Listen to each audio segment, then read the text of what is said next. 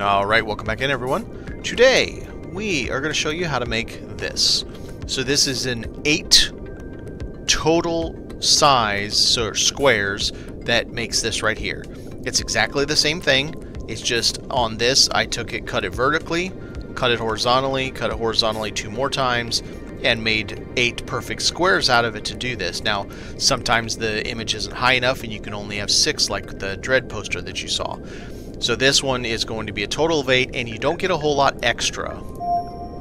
You're going to get about about that much extra, so you can't really go to 10. I suppose you could uh, and have like some of the image occluded. Maybe that uh, works better for your uh, taste. But what we're going to do is use two of the New Eden buildings, just like we did before you can see they are in very close proximity to where this is a very, very tight thing. Now, you're going to want snapping on for this. Without snapping, you're going to have some problems. Make sure we're on a New Eden building. Make sure snapping is on. Alright. And there's one. And there's two. So now we need to bring these all the way up. Need to find the perfect edge, which is that one, so this one needs to be turned all the way around, okay? And I should note you want snapping on before placing these. If you do not have snapping on when, when you place them, then, and you go to turn it, you're not turning it in probably 15 degree chunks, I would assume. You're turning it in maybe as little as 1 degrees, and you're not going to get a perfect edge. So it's going to give you some problems. So we're going to want to do the extra large.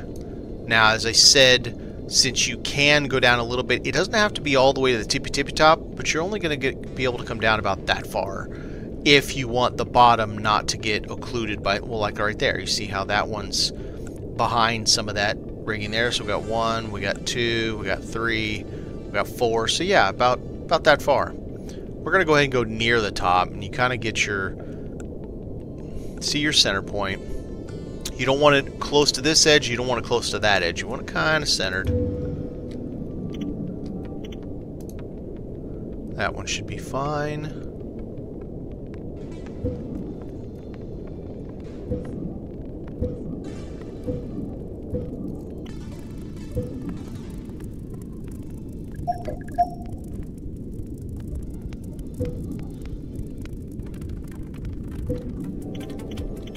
Alright. So now we're going to take these and we're going to pop some in here.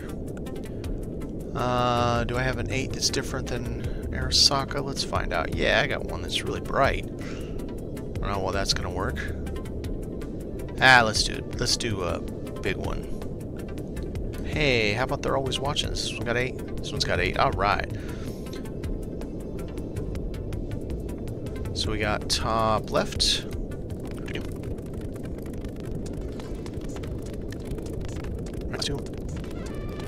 Yeah, that works.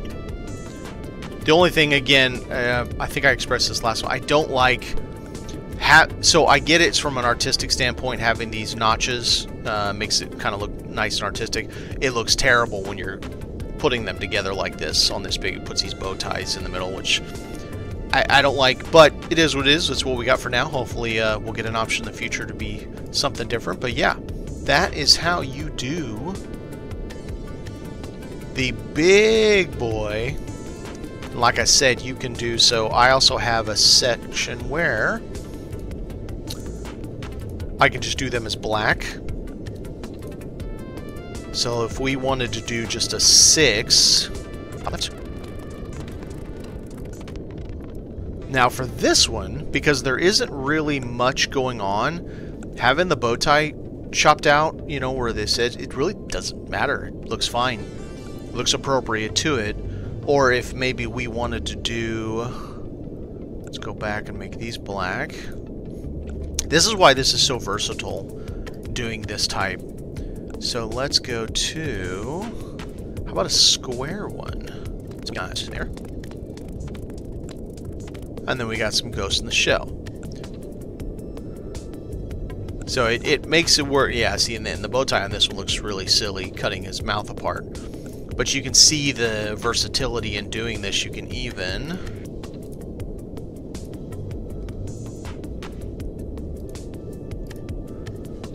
Maybe you want some kind of a different type of image on this, and maybe you want... Let's see.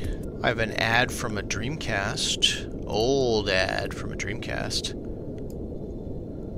Joy top. And joy bottom. So you get the idea. This is one of the weird ones that this one works best when you actually zoom way in. When you zoom out, it gets these kind of weird lines on it. Yeah, so there you go. That's how you build it. And then you can do whatever you want with these. If you don't like all these lights down here, you just take this paintbrush and turn them all off. Which works really well. Alright, thanks for watching.